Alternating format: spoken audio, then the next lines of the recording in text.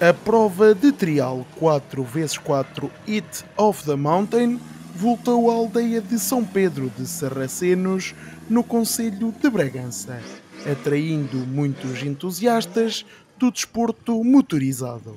Efetivamente, houve muitas viaturas também em competição uh, e sem dúvida nenhuma que é um evento que traz muita gente, atrai muita gente que gosta dos desportos motorizados e sem dúvida nenhuma que acho que pelo feedback eh, que nos chegou, uh, que o resultado é muito positivo eh, e obviamente é uma iniciativa para, imagino eu, ter continuidade. A prova contou com 28 participantes, 4 pertencentes ao distrito de Bragança, com alterações nos obstáculos durante o percurso.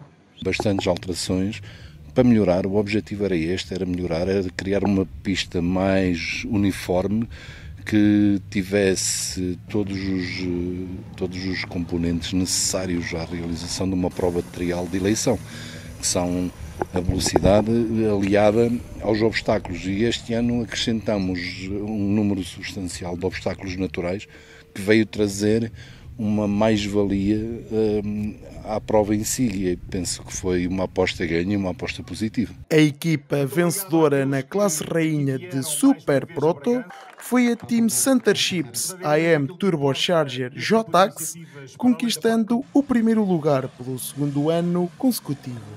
Ah, o positivo hoje é os prémios que a gente vai levar. É o prémio monetário, que é para quem, eu, para, para mim que faço 800 ou 900 km para vir a fazer a prova, é bom. É, vamos uns pneus, é pá, tudo isso é muito gratificante para quem é um esforço que depois é recompensado. É, é bom, né? é, muito, é um prémio mesmo muito bom. Né? Não estamos habituados aqui em Portugal a darem um prémio tão bom, a não ser aqui em Bragança. A cidade precisa disto, é de dar os parabéns à TT Sem Limites a quem organiza, a quem ajuda, a quem apoia e a quem vem cá por gosto.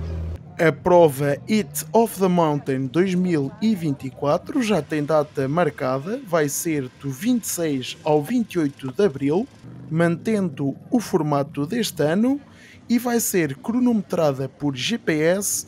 Terá ainda mais de 5 mil euros em prémios.